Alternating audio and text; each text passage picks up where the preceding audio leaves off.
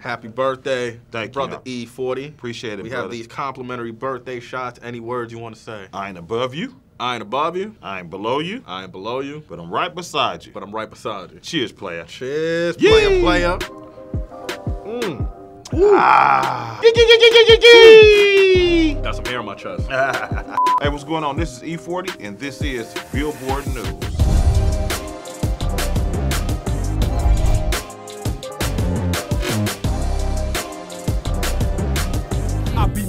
Than a hippopotamus. Get off in your head like a neurologist. Push more weight than Atlas. Got a partner by the name of Tupacalis. I don't mean no harm, it's the hood in me. Sipping on that Richard Hennessy.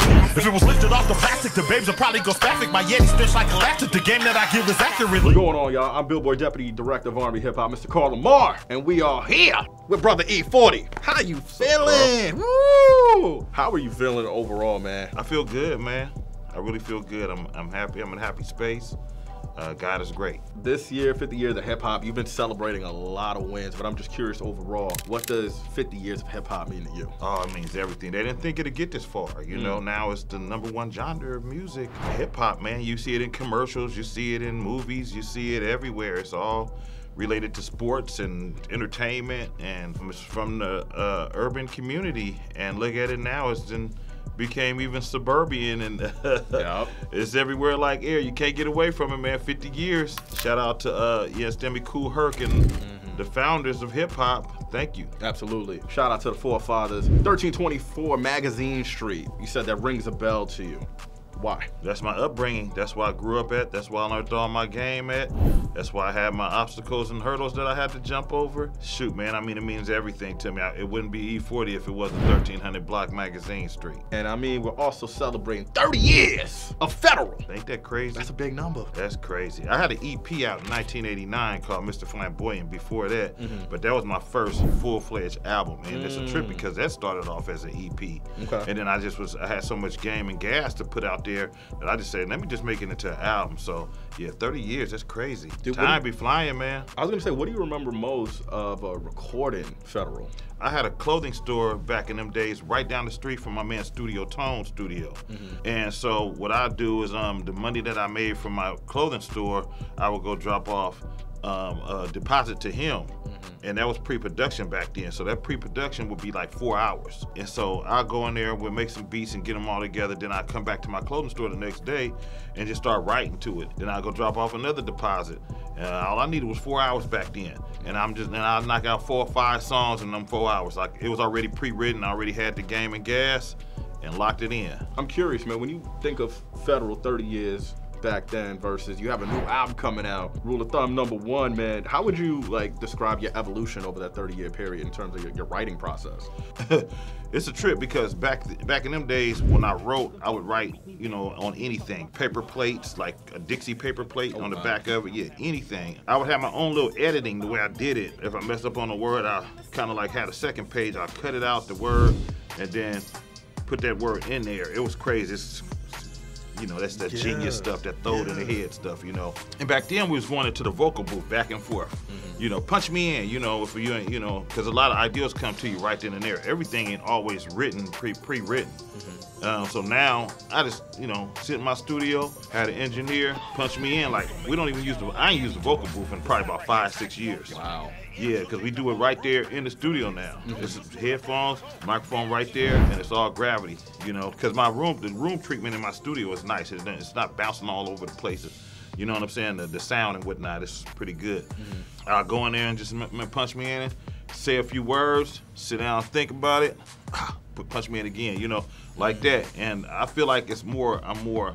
I think I'm better than ever. This album gonna shock a lot of people. It's game and gas, man. It's genius, well thought out, super super slaps, different subject matters. I don't sound like nobody in rap. I'm not trying to be like nobody in rap. I'm just being me. Hmm. And I want to satisfy my fan base. And whoever wants to join my fan base, come on in and get a dose of this game. As far as my music, it's been a drought. I grew up off of that mob. Come to the party. Yeah. And it's gonna be a nice party because you got cats like NBA Youngboy, Gucci Mane, Yeah. your brother Too Short. What I think is dope about those three I mentioned, it's kind of like three different eras. Mm-hmm. So talk about being able to have fun with that, like intergenerational type of experience with three different eras of rap? Well, you know, let's start off with NBA YoungBoy. He's a old soul. Like, he been here before. That's a deep young man. Yeah. You know what I mean? And I always liked him. And you know, Birdman hit me one day and was like, "Hey, YoungBoy wanna um, want you on one of his songs." And um, he sent it to me. We connected.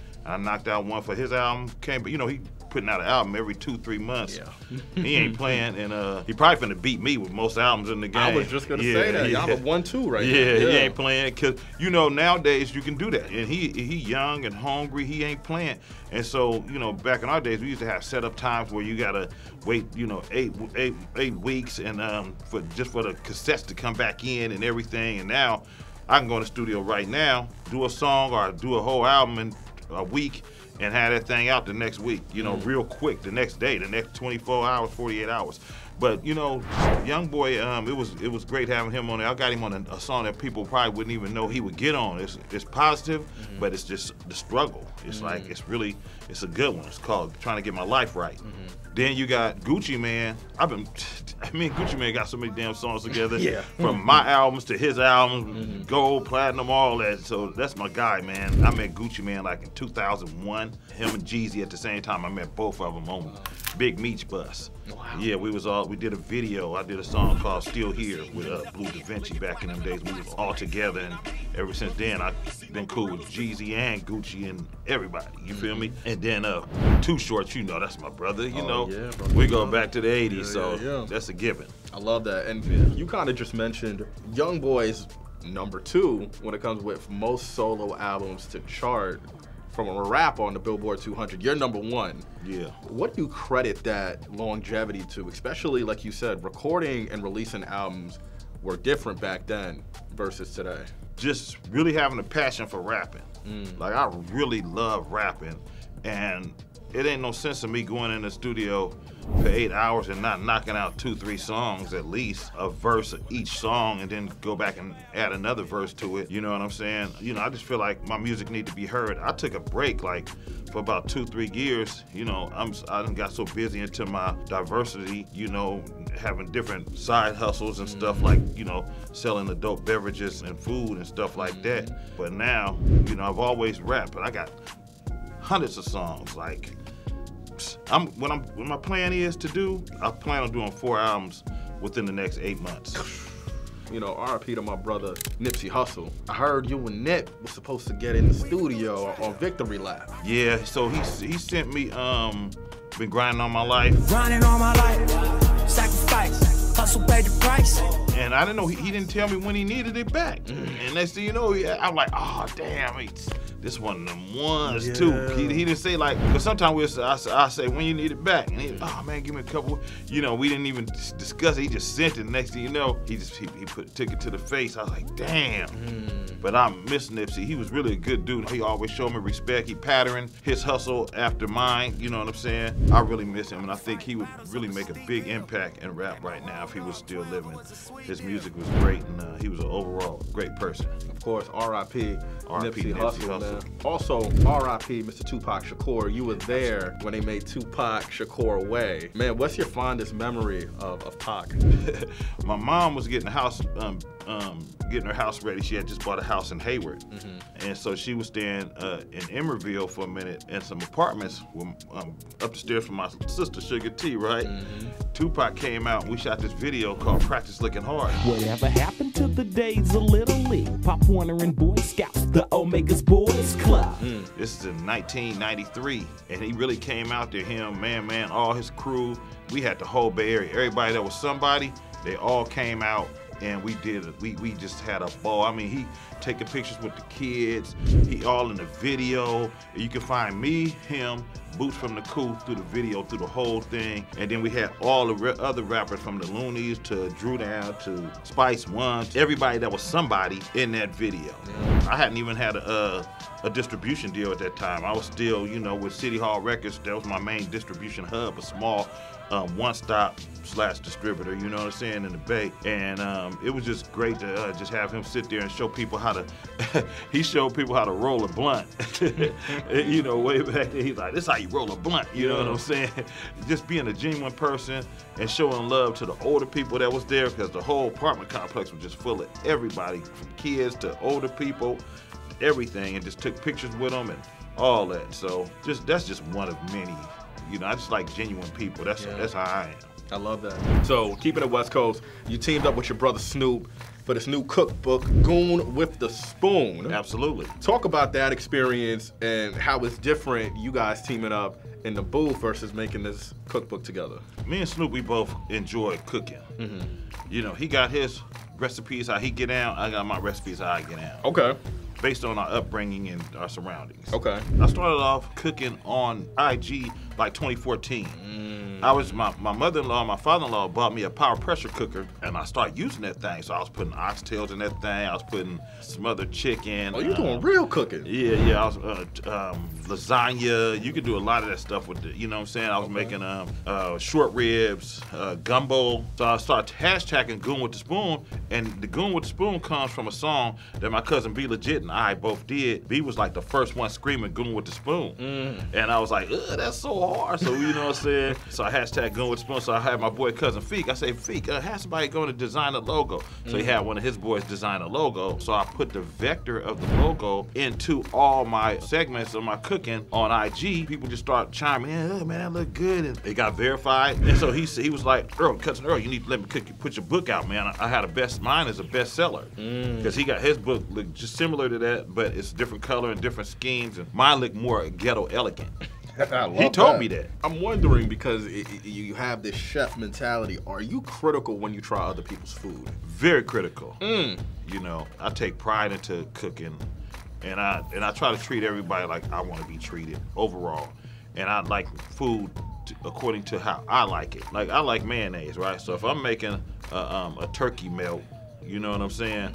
I definitely gotta spread the mayonnaise on all parts of the bread. Mm. You can't just put a little woo wop on there. I make I make it according to how I like it. If I like it, you should love it. Yeah. Cause I feel like God blessed me with great taste buds. The, the alcohol to the ice cream to obviously now the cookbook. Talk about your venture into being an entrepreneur and how that has been able to add extra longevity to your brand. Yeah, absolutely. You know, it's always good to have uh, additional revenue streams. Mm-hmm.